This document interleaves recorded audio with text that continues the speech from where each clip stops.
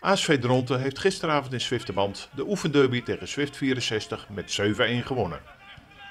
Buiten de lijnen werden de coronamaatregelen hoegenaamd niet in acht genomen.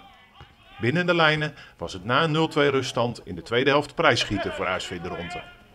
De 20-jarige verdediger Cedric Oosterlo maakte deze zomer de overstap van ASVD naar Swift. Hij trof in zijn eerste duel in het wit meteen zijn oud teamgenoten en had zich die hernieuwde kennismaking heel anders voorgesteld. Ja, eigenlijk wel ja.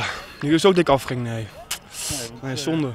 tegen je oude club, misschien had je stilletjes wel gehoopt. een Ja, hopelijk 1-0, maar eh, niet, eh, niet gelukt, helemaal genoeg. Nee. Wat, wat is het verschil? Ja, we spelen die bal ook in links naar rechts. Wij moeten lopen de hele tijd. Laat ons gewoon lopen. En dan ja, spelen ze ons vier man eigenlijk elke keer voorbij. En dan scoren ze die goal.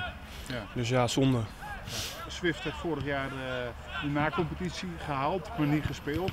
Om promotie naar de tweede klasse. Maar als ik dit vandaag zie, is het misschien maar goed dat jullie geen tweede klasse spelen. Nou, misschien kunnen de tweede klasse wel aan. Dan gaan we misschien in de midden niet bovenin meedraaien. Dat niet, nee. Misschien, ja, de tweede klasse kunnen misschien wel aan. Dus ja, we moeten nog kijken hoe het nu gaat dit seizoen. Doordekken, doordekken.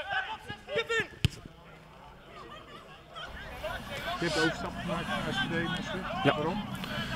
Eh, maar ja, ik heb mijn kans niet echt gekregen bij het uh, ACD voor gewoon trainer. Dus ik dacht van, nou, mooie stap naar Swift toe. Het is één niveautje lager, maar ik denk aan ja, voor een nieuwe uitdaging voor mezelf. Dus daarom. En ik wil gewoon lekker speelminuten maken, dus daarom ben ik eigenlijk hierheen gegaan. En een nieuwe uitdaging, dus En daarom. bevalt het nu?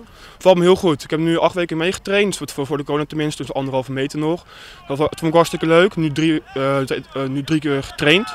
Hartstikke leuk, dus ik ben positief.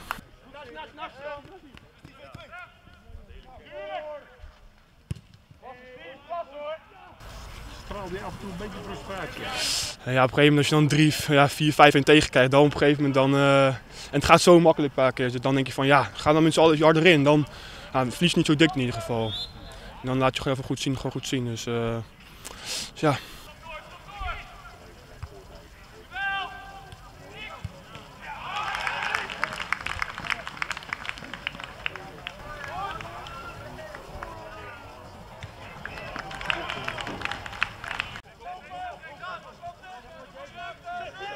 Moet het worden dit jaar?